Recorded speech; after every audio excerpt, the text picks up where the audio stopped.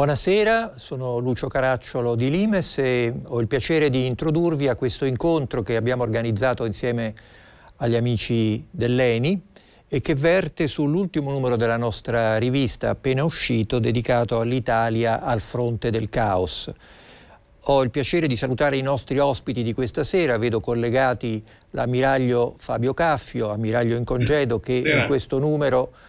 eh, ha scritto un importante articolo corredato da altrettanto importante cartografia sulle ZEE, cioè sulle zone economiche eh, esclusive, di cui poi ci parlerà, l'ambasciatore Pasquale Ferrara, che saluto e che oggi ha un incarico particolarmente dedicato che riguarda in particolare la Libia, o quel che ne resta, e eh, il, naturalmente eh, sul fronte invece di, eh, dell'ENI abbiamo eh, Lapo Pistelli, eh, direttore del, dei Public Affairs ENI, autore anche lui di una conversazione molto importante in questo numero dedicata alla questione energetica nell'area mediterranea. In un paio di minuti il senso che abbiamo voluto dare a questo numero. L'idea cioè che il mare nel quale siamo immersi con una superficie costiera di circa 8.300 km è diventato un mare sempre più disputato, quindi sempre meno libero, con paesi che si stanno riarmando e con un'Italia che a me pare abbastanza inconsapevole o comunque indietro rispetto alle dinamiche in corso.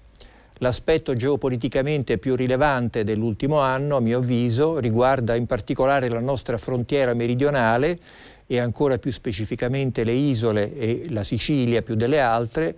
cioè quella parte d'Italia che affaccia su quello spazio che abbiamo chiamato Caoslandia e che nella sua facciata nordafricana ha visto introdursi due potenze di notevole spessore e anche di notevole ambizione che sono la Turchia, nostro alleato nato, ma che da tempo si è emancipata dal ruolo storico di sentinella della Nato nei confronti prima dell'Unione Sovietica e poi della Russia e ha ritrovato sue memorie imperiali e velleità espansive, peraltro in parte realizzate, insediandosi a Tripoli, e la Russia, che non ha bisogno di speciali presentazioni, diciamo è il nostro storico nemico della guerra fredda sotto veste sovietica, è un paese che dal punto di vista del nostro referente strategico, cioè gli Stati Uniti, resta nemico con la N maiuscola, anche perché se non lo restasse sarebbe più difficile per gli americani giustificare la loro presenza in Europa e in Italia. Il fatto di avere a poche miglia dal nostro confine due potenze, tra virgolette, vecchie e nuove, come sono Turchia e Russia, in un contesto piuttosto caotico, di eh, crisi eh, di ciò che resta di alcuni degli stati che si affacciano sul Mediterraneo. E in particolare segnalerei in questa fase il caso tunisino, a mio avviso oggi più grave persino di quello libico, e appunto il tentativo di molti paesi di acquisire delle sfere di influenza marittime volte sia al controllo di risorse e di rotte marittime, risorse energetiche, risorse ittiche e quant'altro, ma soprattutto anche per una questione di rango, di affermazione del proprio rango internazionale e della propria eh, gerarchia nel sistema delle potenze, tutto questo credo dovrebbe essere materia di indagine e di azione da parte del nostro Paese e certamente di interesse da parte di chi ci legge. Io pregherei di iniziare con un eh, giro introduttivo che affiderei ora all'ammiraglio Fabio Caffio che ringrazio. Prego ammiraglio. Ah, grazie professore, buonasera onorevole, buonasera ambasciatore. Il, stiamo riscoprendo il mare, lo stiamo facendo in un momento difficile della vita nazionale, ma non potevamo più rinviare. Il mare che ci circonda non è più solo alto mare come noi eravamo abituati a pensare, cioè il mare libero adibito alla navigazione, sorvegliato dalla marina militare, utilizzato per la pesca ed altri usi previsti eh, dal diritto del mare. Il mare che dovremo affrontare ora è quello della zona economica esclusiva, perché è noto che c'è in Parlamento e al Senato, l'atto Senato 2007, già approvato dalla Camera, che istituisce nell'ordinamento italiano la zona economica esclusiva cioè una fascia di mare al, al, di là delle acque territoriali fino ai confini consentiti dal diritto internazionale in cui esercitare diritti sovrani, quindi non una zona di sovranità, cioè non si tratta di acquisire altro territorio, ma una zona di responsabilità da dove proteggere l'ambiente marino e dove proteggere anche le risorse naturali. In sostanza possiamo dire che la zona economica esclusiva si affaccia sull'ordinamento italiano proprio nel momento favorevole, nel momento in cui cerchiamo di rilanciare la nostra economia. E perché? Perché la, la economia della zona economica esclusiva è quella della transizione energetica prevalentemente. Non più soltanto quindi energie fossili, come era fino adesso nella sottostante piattaforma continentale, ma anche energie rinnovabili, perché la zona economica esclusiva è il luogo di elezione delle, delle energie ricavabili dal vento, prodotte dal vento, quindi nelle wind farms, nelle eh, compale eoliche offshore, oppure anche dalle correnti e dal, dalle maree ma eh, quello che è importante è anche che eh, dovremo realizzare un adeguato sistema di protezione ambientale, di protezione delle risorse. Tutte materie che sicuramente non ci portano a scontrarci con interessi contrapposti dai vicini, ma che potranno essere condivise con loro, cioè che sicuramente nelle loro agende ci sono. Ora eh, si tratta di stabilire dei confini, dei confini che in, in attesa di accordo dovranno essere definiti eh, in modo da non compromettere il risultato finale. Qui sta il problema, perché eh, noi abbiamo, delle tratt- abbiamo intavolato già delle trattative con l'Algeria, eh, Ferrara cioè, potrebbe confermare, eh, l'Algeria ha avanzato una pretesa che noi non riconosciamo perché si sovrappone ai nostri spazi marittimi poi abbiamo la Tunisia, poi abbiamo Malta e poi la Libia. Ecco, io credo che non sarà tutto sommato difficile raggiungere delle intese e medio tempore, fino a che non si raggiungeranno queste intese, potremo stabilire dei confini secondo dei principi precauzionali, cioè tenendoci ben al di qua della mediana, ma tuttavia lasciando trasparire ecco, un messaggio di, sia da un lato di affermazione dei nostri diritti, dall'altro di condivisione delle, eh, de, degli interessi con i nostri vicini. Ecco, in questa cartina che abbiamo davanti, prego, prego mostrare la cartina. Ecco, in questa cartina che abbiamo davanti, questo è un, diciamo, un mio esercizio che io ho condotto insieme alla signora Laura Canali, bravissima come vedete, e quindi eh, noi abbiamo a, ad ovest abbiamo il problema con la, l'Algeria e quindi potremmo pensare a un, dare un effetto un po' ridotto alla Sardegna, perché sicuramente la Sardegna è un'isola che ha un notevole peso sulla delimitazione, cioè non può essere pretermessa come invece l'Algeria pretende e quindi potremo tenerci un po' qui, un po' al di qua della mediana, in attesa poi di raggiungere dell'equidistanza tra le coste dell'Algeria e, la, e della Sardegna.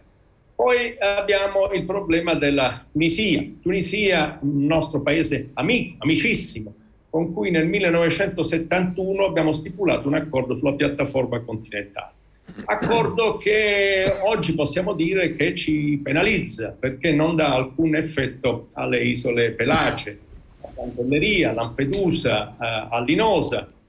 ma che al tempo aveva una sua logica perché in cambio i tunisini ci consentirono di pescare nelle loro acque territoriali. Lì c'è la famosa zona del Mammellone, una zona molto pescosa, un basso fondo di 50 metri, che però forse Adesso si tratta soltanto di proteggere, cioè non c'è più risorse da sfruttare, ma ci sono un ecosistema da proteggere e quindi non sarebbe difficile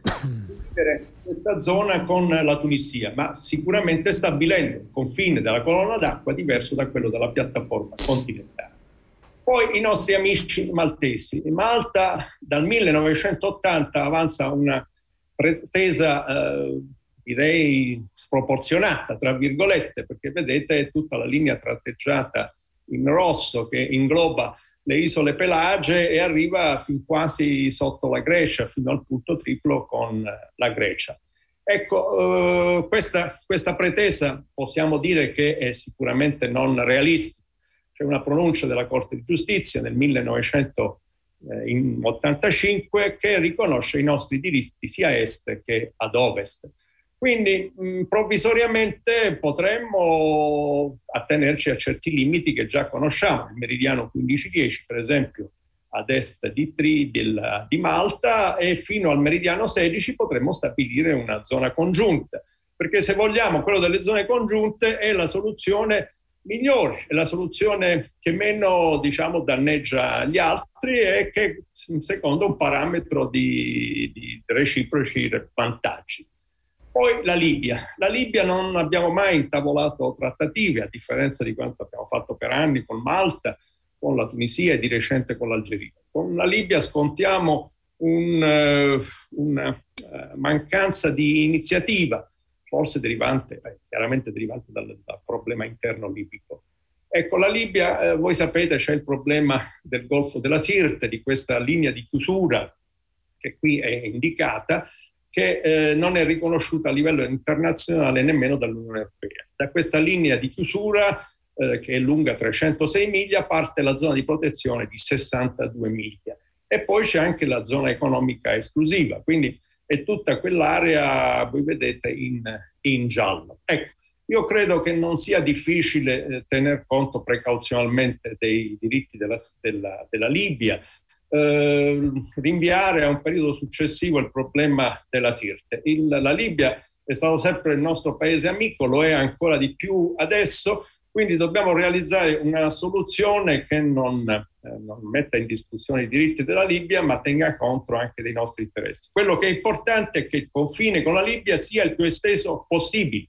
la Libia è il nostro vicino più importante, quindi è necessario avere un confine condiviso. Purtroppo Malta pretende di, essere, eh, di avere lei la parte più importante di questo confine, ma eh, come dicevo, la sentenza della Corte di Giustizia ha un po' indicato quello che sono le linee future. Quindi in sostanza stabilire dei confini provvisori, essere moderati nello stesso tempo, lasciare aperta la porta a soluzioni successive e soprattutto ricercare un, sia eh, forme di tutela congiunte di, di, queste zone di mare, sia anche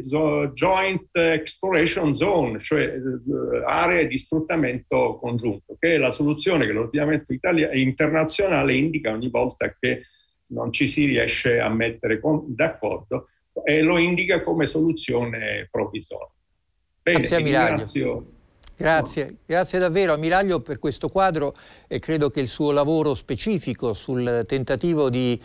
delimitare una zona economica esclusiva italiana possa essere di aiuto anche al dibattito pubblico e a quello che accadrà in Parlamento, perché non dobbiamo dimenticare che noi arriviamo buoni ultimi in questa partita, cioè dobbiamo costruire una nostra zona economica esclusiva dove già altri hanno avanzato delle pretese e poi soprattutto una volta stabilito dobbiamo anche proteggerla. E lei ha parlato di Libia, credo che eh, a questo punto eh, l'ambasciatore Pasquale Ferrara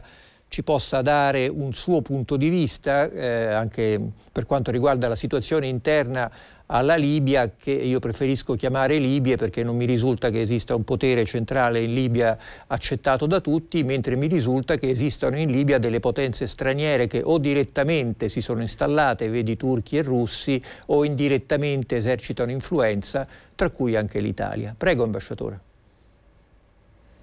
Grazie, eh, buonasera, ringrazio molto per questo invito. Eh, beh, il fatto, partendo dalla Libia, il fatto che eh, in Libia non ci sia un potere eh, centralizzato e soprattutto legittimato secondo una procedura democratica è la ragione del nostro impegno, non solo diciamo, dell'Italia, ma dell'Unione Europea e della comunità internazionale. Quindi non siamo eh, certamente a una situazione in cui possiamo eh, pensare che questa eh, eh frammentazione eh, di eh, autorità istituzionali possa essere perpetrata nel tempo, cioè l'obiettivo è proprio quello di arrivare a, una, a, a un punto di caduta positivo dove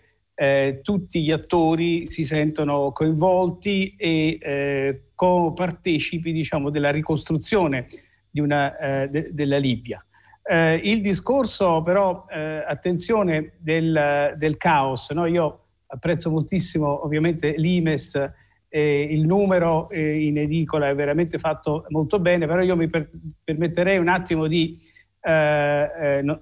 contestare amichevolmente diciamo, l'estensione della nozione di caos a tutta la, a tutta la regione. Insomma, certamente abbiamo situazioni di, eh, di conflitto, abbiamo eh, presenze internazionali che alle volte impediscono diciamo, il raggiungimento di un'intesa tra gli attori interni, non mi riferisco solo alla Libia ovviamente, ma anche il caso siriano per esempio. Eh, però c'è anche una nostra tendenza, eh, parlo nostra, diciamo, eh europei, come europei, a considerare ogni diciamo, cambiamento strutturale che avviene nel Mediterraneo in termini di eh, possibile destabilizzazione. No? Io quando sono arrivato al Ministero degli Esteri nel 2010 a, a dirigere l'unità di analisi, eh, è, un, è, un, aneddoto, ma insomma mi sembra eh, importante riferirlo, c'era uno strumento di analisi che si chiamava, riferito al Mediterraneo, l'arco della crisi.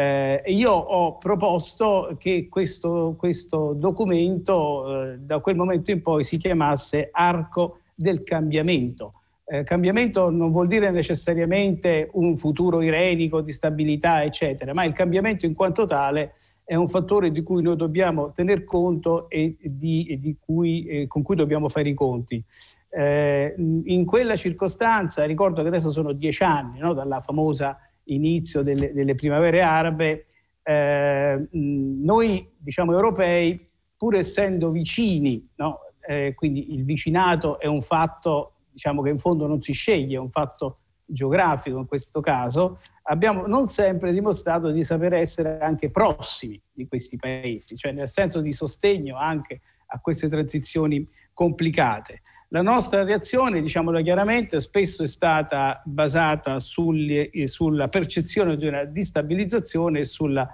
percezione di un rischio potenziale. Il rischio securitario, per esempio, ovviamente del tutto legittimo del il, il terrorismo, il rischio energetico, quindi che cosa succedeva diciamo, con gli approvvigionamenti, non parlo solo dell'Italia ma dell'Europa in generale, il rischio eh, migratorio. Eh, io credo che questo non eh, non ci abbia fatto eh, acquisire una grande credibilità, specie presso le opinioni pubbliche diciamo, del, del mondo arabo eh, musulmano. Ehm, più che di caos, adesso mi consentite di riferirmi a una metafora letteraria che io rubo a Elena Ferrante.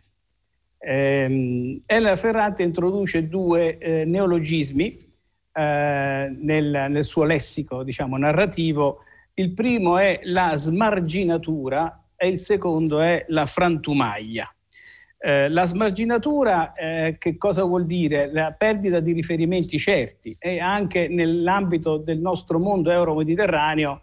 questo è avvenuto e sta avvenendo e eh, il, secondo, eh, il, secondo, termine, la frantumaglia, questa percezione del caos, che però, attenzione, ha, sua, eh, eh, ha un suo senso, perché eh, spesso quello che noi percepiamo come caos è un modo indistinto, a volte anomico, di rispondere a delle esigenze eh, fondamentali.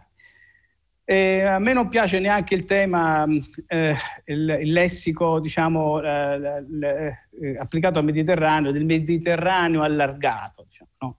Eh, non esiste un Mediterraneo allargato, esiste una profondità mediterranea. Al massimo esiste quello che, eh, che Brodelli chiamava il grande Mediterraneo. noi siamo dirimpettai di questa immensa area che è il Sahara e il, e il Sahel come con, collegamento tra l'Europa eh, e, e, l'Africa. È una zona spazio-dinamica che non possiamo diciamo, eh, con, considerare in modo troppo eh, approssimato, eh, a mio avviso. Ehm, l'altra, l'altra, dimensione che, che, riguarda il caos, beh, lì dobbiamo anche metterci d'accordo su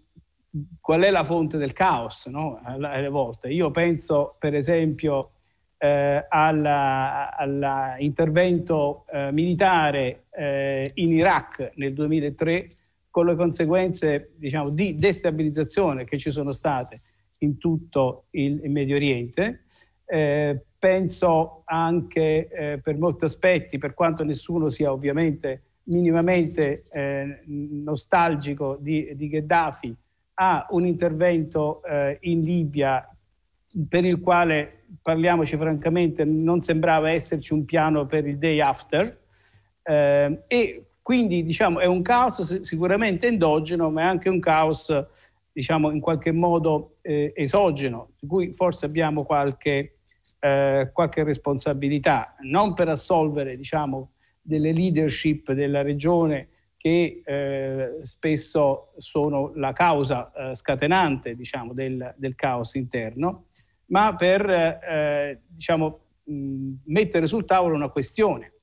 che la questione non è quella della sponda sud e della sponda eh, nord, no? Eh, qui c'è uno spazio euro-mediterraneo, ci sono interazioni politiche continue eh, e parlo non della dimensione storica astratta, ma parlo dal, dal 1995 ad oggi, con tutti i tentativi che ci sono stati di integrazione, di approccio, di sinergie, eh, con tutte le, spesso le, le purtroppo le eh, nostre promesse non mantenute, la famosa grande area di libero scambio no? che dovevamo creare tra l'Unione Europea e tutta l'Africa eh, del Nord e, e, in generale Medio Oriente e Nord Africa, quindi abbiamo perso alcuni appuntamenti eh, con la storia. Questo non vuol dire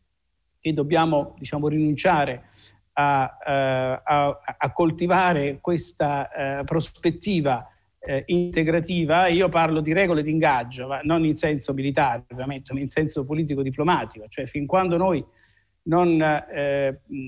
non decideremo come, come, paesi dell'Unione Europea e come istituzioni dell'Unione Europea di ingaggiare una conversazione vera, franca, aperta con, con questi paesi e eh, diciamo dimostrare che siamo uh, uh, al, al, fianco di tutti coloro che vogliono una, uh, non tanto le rivoluzioni, ma quantomeno le riforme, un progresso verso una governance più aperta, più democratica, più inclusiva ecco, fino, fino, a quel punto noi forse avremo qualche cosa da, eh, da rimproverarci. Però secondo me c'è anche un, un'agenda positiva che possiamo, possiamo coltivare ehm, e rifacendomi appunto all'idea dei, dei tre gran, delle tre grandi aree del processo di Barcellona, no? cioè un partenariato politico e di sicurezza, un partenariato economico, un partenariato sociale, culturale e umano. Eh, sulla sicurezza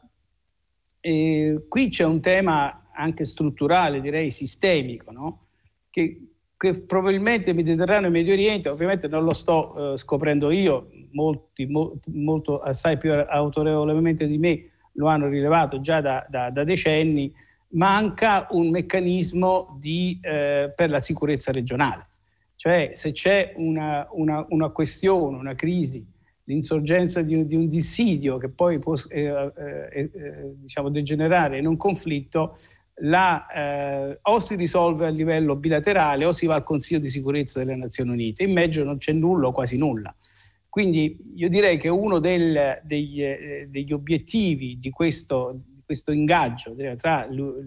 tra l'Europa e eh, l'area del Mediterraneo e del Medio Oriente deve essere quello di trovare insieme dei meccanismi che consentono di prevenire i conflitti prima che insorgono eh, e prima di trovarci davanti a situazioni di destrutturazione eh, di interi stati. A questo punto, a questo proposito, e finisco eh, qui, eh, l'idea del caos che suggerisce una ingovernabilità, l'anomia, eccetera, è vero fino a un certo punto, perché il paradosso che noi abbiamo eh, nel, in quest'area è che ci sono o stati troppo deboli e quindi praticamente collassati,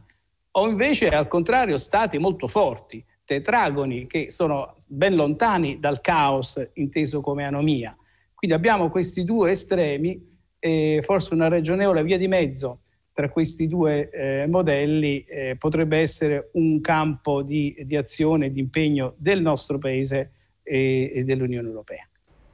Grazie ambasciatore, eh, grazie anche per i suoi riferimenti semantici molto interessanti. Potremmo chiamarlo invece che Chaoslandia Frantumaglia-land, ma insomma la sostanza non è che cambi molto. Il punto è che ci, ci sono dei vuoti e quando ci sono dei vuoti vengono riempiti, per esempio nel caso libico. Eh, la, la, crisi del, del regime di Gheddafi ha portato, ma magari questo poi lo vorrà se lei crede trattare nel, nella sua replica, ha portato paesi rilevanti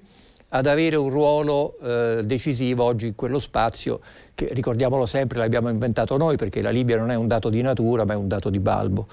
Eh, vorrei adesso eh, chiedere all'amico Lapo Pistelli di darci la sua visione, anche magari volendo già intervenire su quello che è stato detto prima, anche e soprattutto dal punto di vista che più direttamente segue, cioè quello energetico.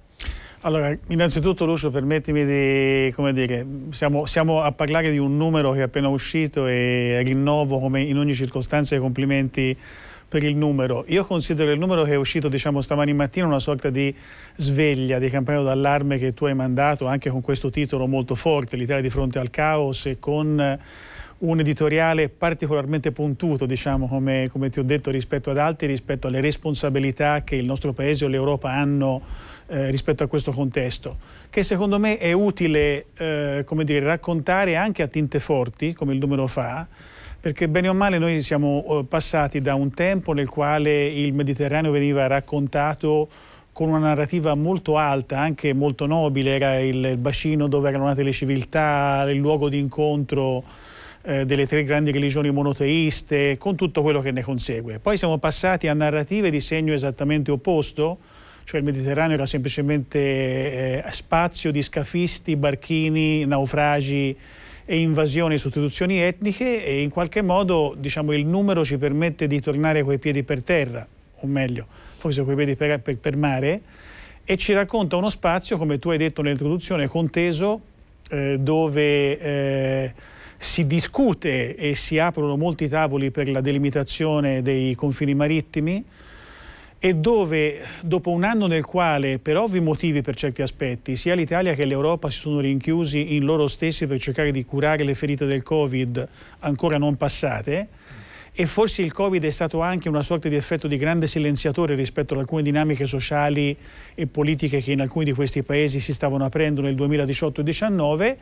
improvvisamente scopriamo uno spazio conteso, uno spazio in cui tornano eh, vecchi protagonisti, è il caso della Russia e della rivitalizzazione delle sue mai sopite relazioni in Egitto o in Algeria,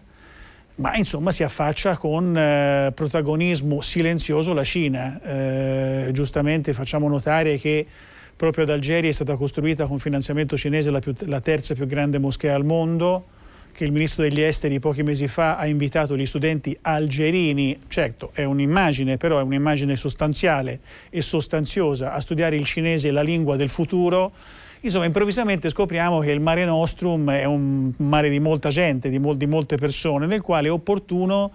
che il Paese, innanzitutto, poi l'Europa, riconfigurino quali sono gli spazi, gli interessi, non dico i confini, ma le aree in cui esercitare una iniziativa politica. Quindi trovo il messaggio molto forte, molto ben calibrato e eh, indirizzato nel momento giusto.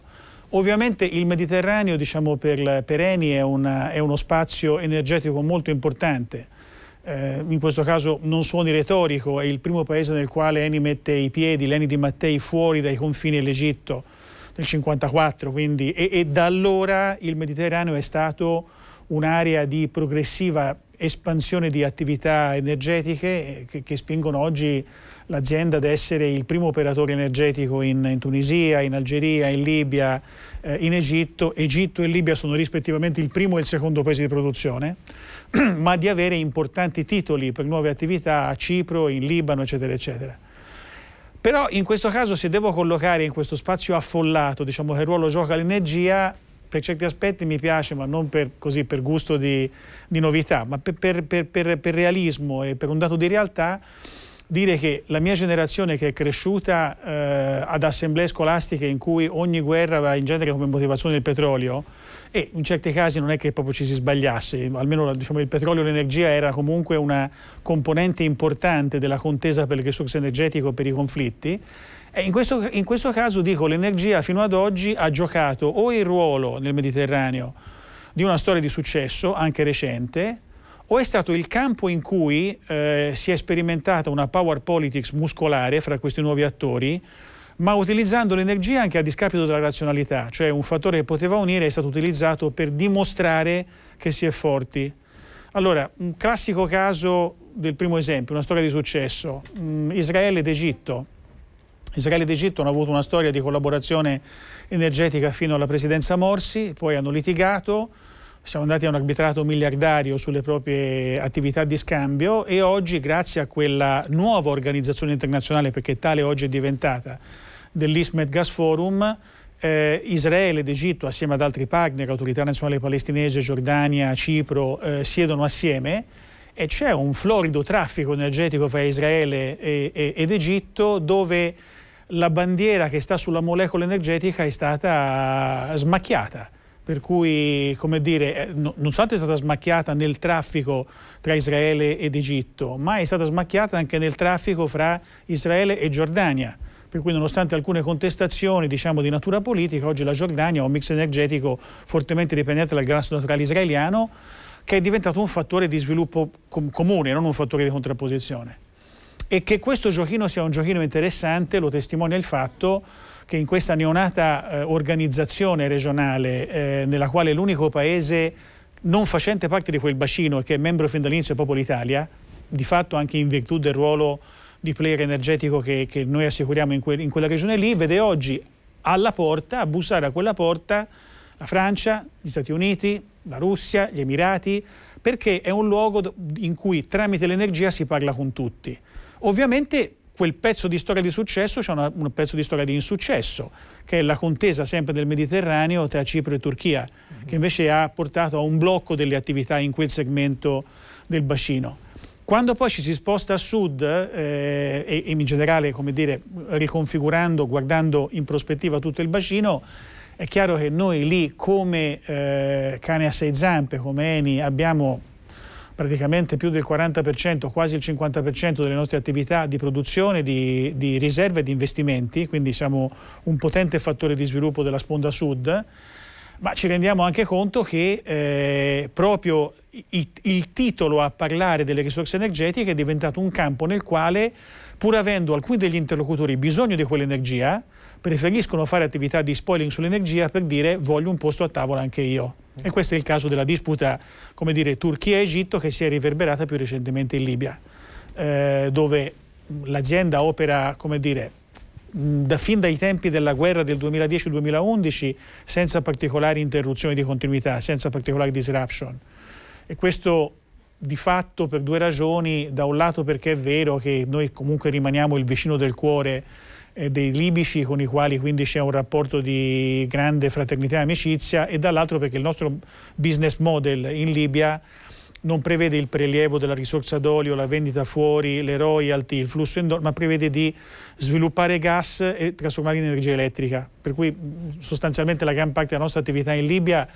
fornisce elettricità e quindi consumi quotidiani ai libici a nord, a sud, a est, a ovest. Però ci rendiamo oggi conto quanto questo Paese soffra questa eh, disputa che vede oggi una presenza fortissima turca e una presenza di profilo un pochino più modesto russa tramite il gruppo Wagner e questo possa tarpare in qualche modo le ali eh, allo sviluppo libico che potrebbe essere veramente moltiplicato. Non ci dimentichiamo mai che anche se tutti questi paesi, noi compresi, siamo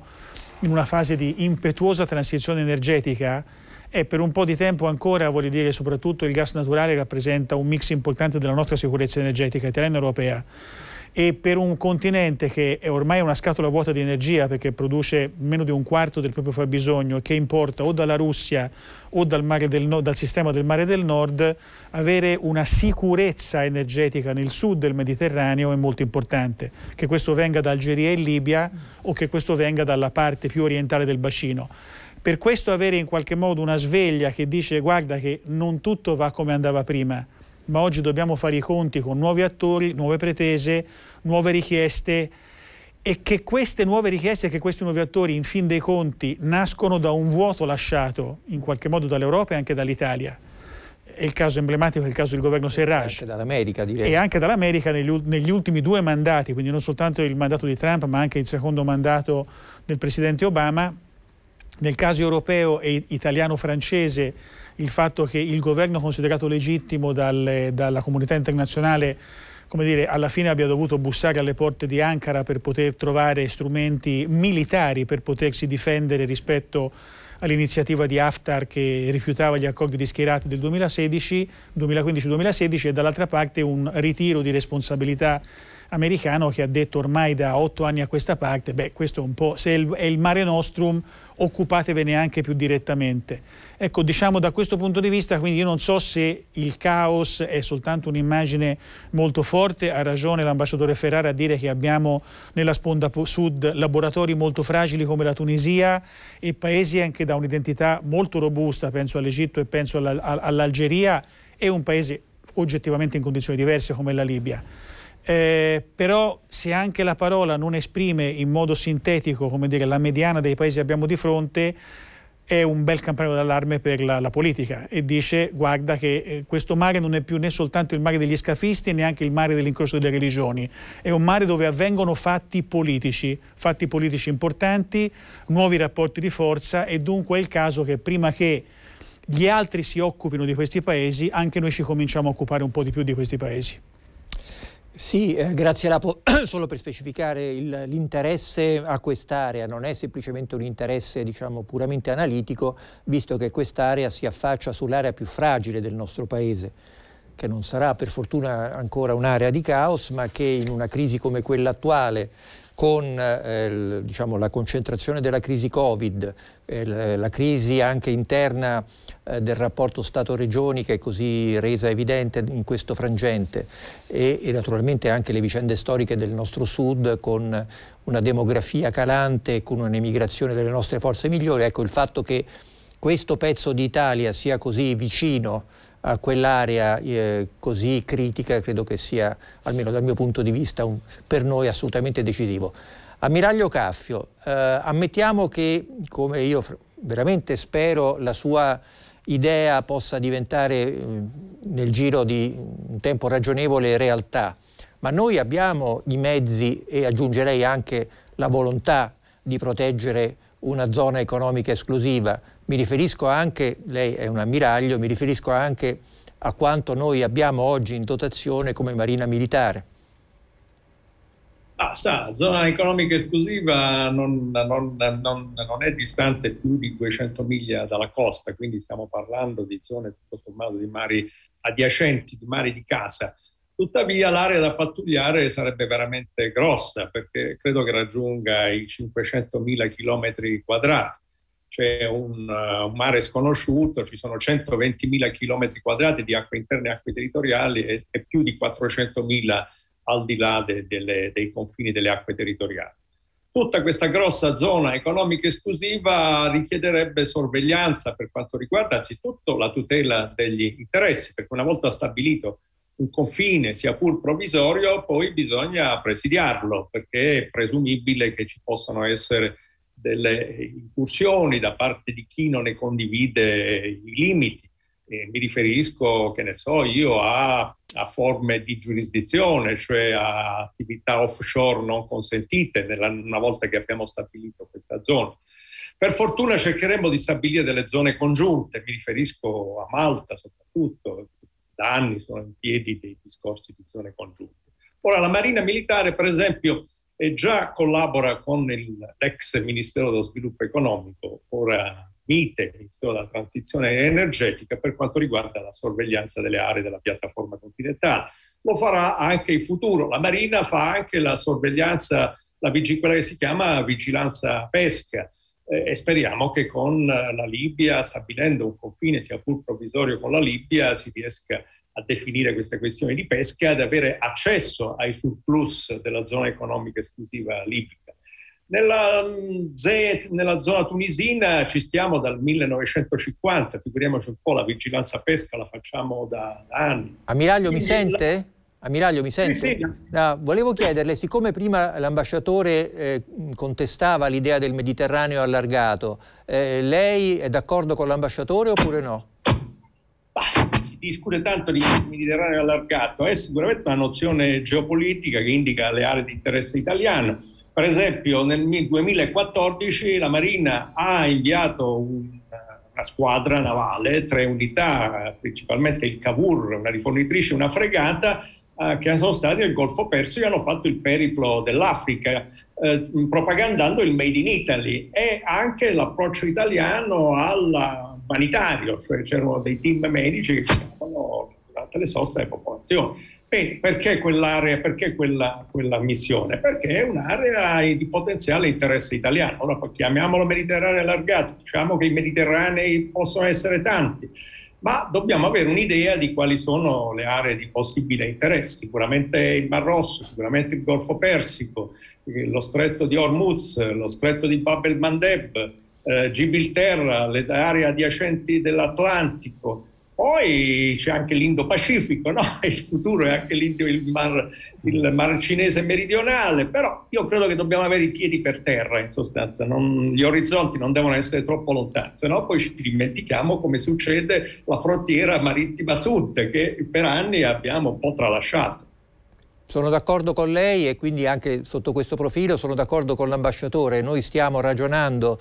come se fossimo gli Stati Uniti d'America che hanno 16 flotte in giro per il mondo, noi abbiamo una portaerei che ancora deve montare degli aerei credibili di quinta generazione, quindi insomma non è proprio il caso invece di concentrarci sulle aree dove c'è un, un rischio effettivo e dove ci sono delle potenze che non hanno poi tutte queste diciamo, caratteristiche umanitarie, ma hanno interessi geopolitici piuttosto precisi. Allora tornerei all'ambasciatore eh, chiedendogli se crede di eh, entrare un po' anche nel merito eh, della questione russo-turca in Libia. Noi abbiamo oggi una sorta di ballo eh, informale, ma anche fisicamente già in via di costruzione, che va da Sirte a Giufra e che tende a bipartire sia pure in maniera grossolana, una eh, cirenaica da una Tripolitania, senza dimenticare il Fezzan, che è un'area assolutamente strategica. Eh, lei crede che questa frattura possa essere composta ed eventualmente come?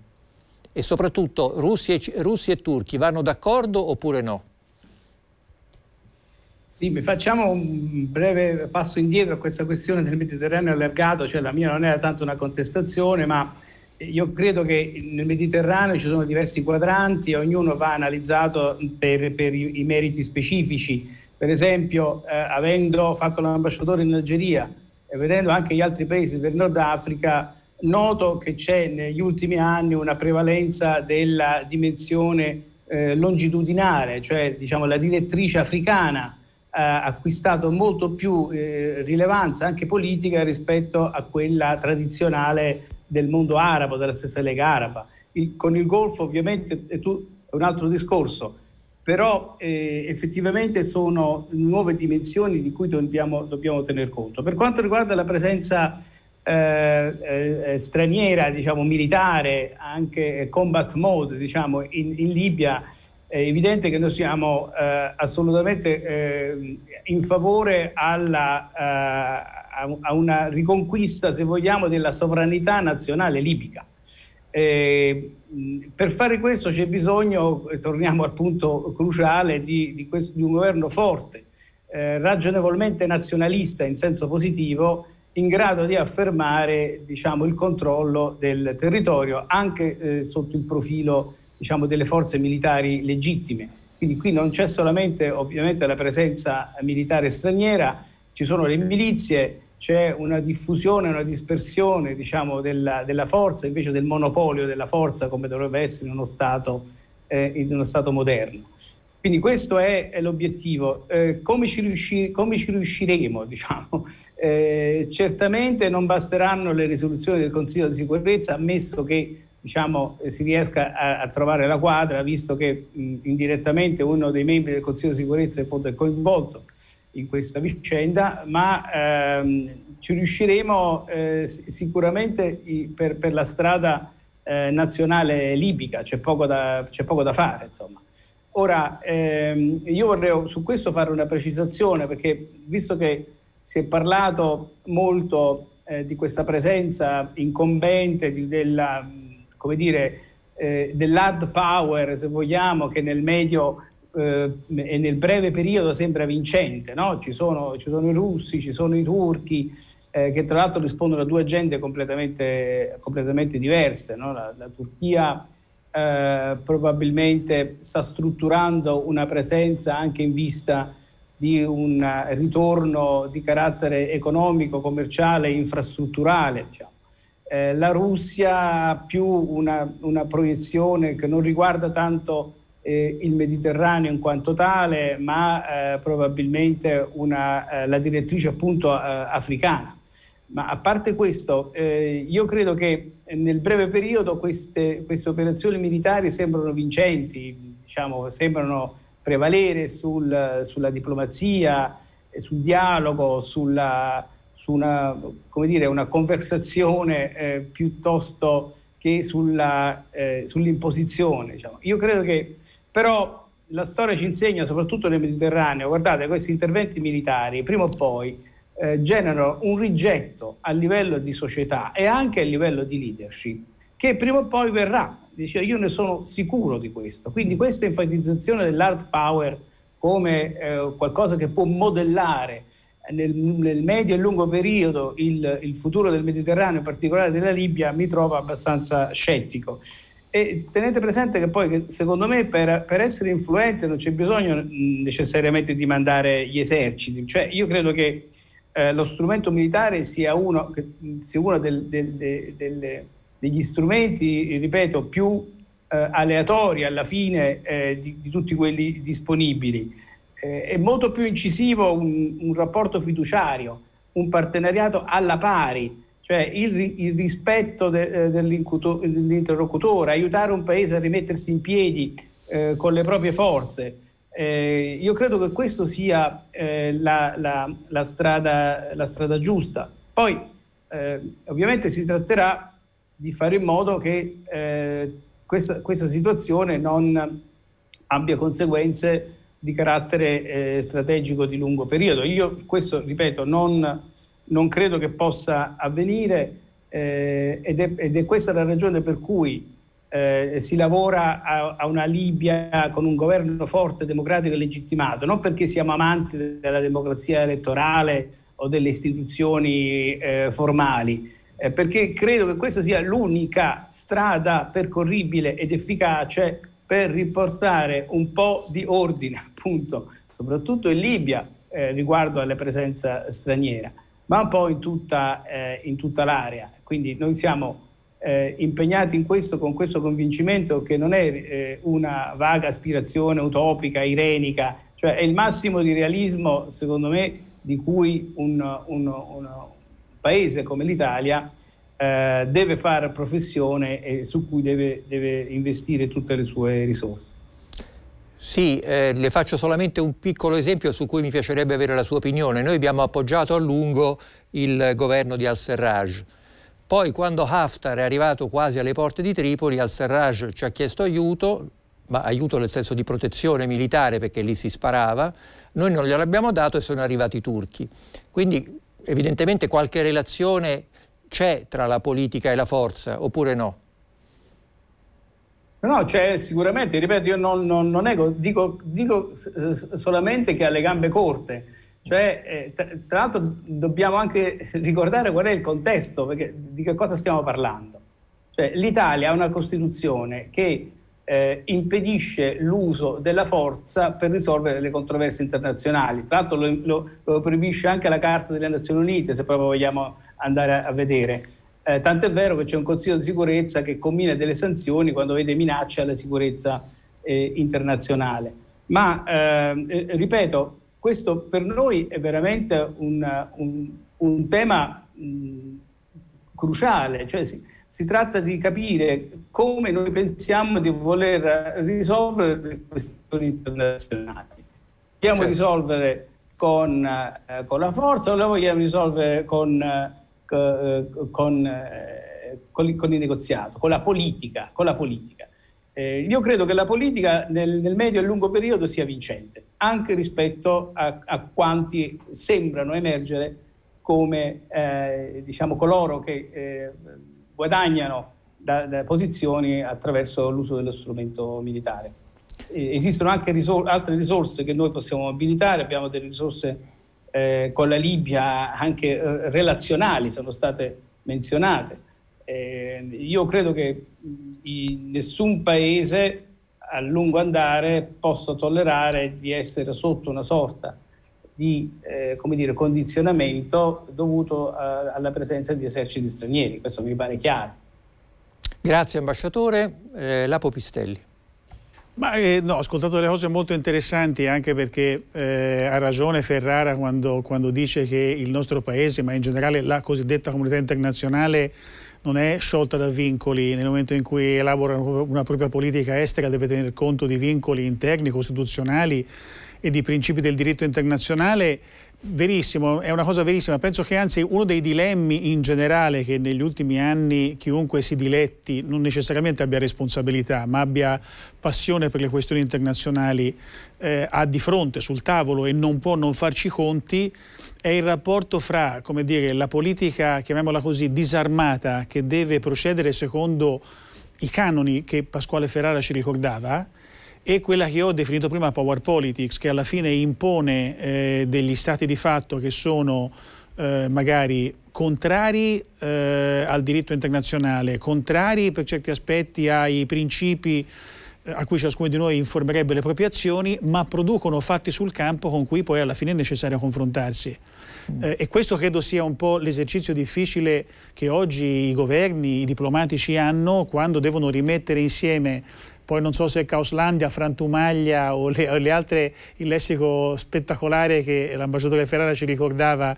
eh, di Elena Ferrante, però chiaramente nel momento in cui i, i, i, vicini territoriali, i proxies regionali e poi alla fine le ex superpotenze sono tutte sedute allo stesso tavolo con diversi ordini di influenza e diversi gradi di pressione, l'esercizio diplomatico diventa terribilmente più complicato chiaramente. Poi io sono d'accordo che eh, se uno vuole come dire, fare, non dico di necessità virtù, ma imbastire una politica con quello che ha a disposizione. L'ammiraglio Caffio ce l'ha detto con come si può usare al meglio la flotta che si ha. L'ambasciatore Ferrara ricordava come, dire, come un disegno politico di più lunga lena alla fine, eh, secondo lui, risulta vincente rispetto alle imposizioni muscolari di breve periodo. Anch'io ritengo, eh, lo potrei dire da un punto di vista energetico, che in quei paesi avere impostato delle relazioni eh, che hanno, diciamo, hanno, traguardato alla crescita di valore condiviso più che al profitto di breve termine, hanno investito sulle comunità e non soltanto negoziato un buon accordo petrolifero, ha portato in questi anni non soltanto in Libia e non soltanto nella Libia martoriata di oggi, ma in tutti quei paesi fin dagli anni 50 e 60 a costruire delle relazioni molto forti con le comunità prima ancora che con i governi e questo devo dire alla fine è un footprint, un'impronta digitale diciamo così che in generale in quel continente ci è riconosciuta. Torno però su un'ultima questione che, che, il numero eh, diciamo in generale richiama all'attenzione degli analisti e dei decisori politici. Ehm, e che anche in qualche modo l'ammiraglio Caffio ha, nel suo secondo giro di repliche ha, ha evocato in qualche passaggio. Eh, perché la Cina oggi, la Cina è così distante, così lontana? Perché giustamente questo mare non è più soltanto la connessione nord-sud, eh, in questa definizione molto brillante, eh, in, questo, in, questo, tuo neologismo del Medio Oceano, eh, il Mar Mediterraneo diventa la connessione fra l'Atlantico e il Pacifico, ovviamente attraverso eh, i canali e gli stretti che conosciamo, ma del resto non scopriamo oggi che i terminali della Via della Seta arrivano sul Mediterraneo, non scopriamo oggi che durante il rischio di fallimento dello Stato greco la Cina si è comprata il Pireo. Eh certo. Non scopriamo oggi che eh, dire, le grandi compagnie di transshipment e di, e di cargo commerciali hanno nel Mediterraneo le proprie basi logistiche. Andando ancora oltre, eh, dopo che per tanto si è parlato e si è visto, anche perché quasi cinematograficamente molto evidente dei conflitti nel, nella, nella, eh, nel Golfo Persico e nel, nella, nell'attenzione quasi tutta finalizzata sullo stretto di Hormuz. E se uno guardasse cosa sta accadendo nel Mar Rosso da Bab el Mandeb risalendo su verso Suez si renderebbe conto che se per molti anni Djibouti è stato l'unica realtà che faceva da base di riferimento commerciale e perfino militare, perché non soltanto lì la legione straniera aveva la sua base, ma alla fine lì c'è, sta, stata una base inglese, una base italiana che usiamo, il, il paese usa per operazioni di profondità nel Golfo, una base cinese, sono arrivati tutti e poi vede, scopre che sdoganato Djibouti, oggi via via emiratini, sauditi stanno costruendo porti e basi logistiche risalendo su su in Eritrea e in Sudan. Uh-huh. Cioè la penetrazione di profondità per arrivare al Mediterraneo è diventato un gioco di contesa. Allora ripeto, per questo il numero e il messaggio generale del dibattito di oggi è non un campione di allarme, è una sveglia non è più soltanto il mare nostrum retorico, non è più il mare descritto da Brodel, non è più il mare degli scafisti e basta. Qui si vanno a incrociare una serie di disegni strategici in cui la geografia e quindi la geopolitica contano moltissimo, di cui è utile che chiunque abbia responsabilità o economiche o politiche nazionali e internazionali, come dire, faccia bene i conti, perché dopo un anno di generale letargo sanitario derivante da Covid, la politica non si è fermata, continua e ci presenta il conto. Grazie Lapo, una risposta in 30 secondi. Quanto un accordo sulla cassa della rendita energetica potrà essere decisivo nel caso libico? Eh, noi pensiamo che se, ripeto, se l'energia è stata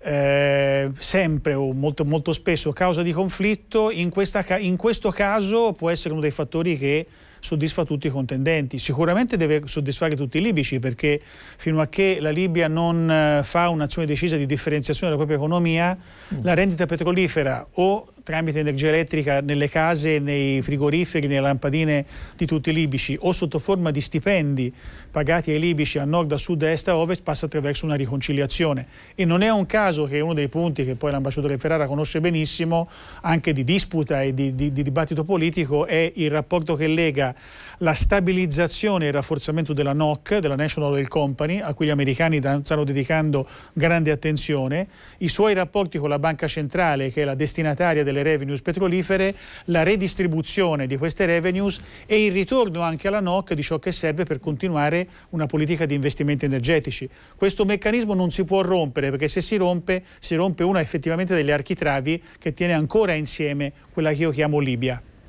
Bene,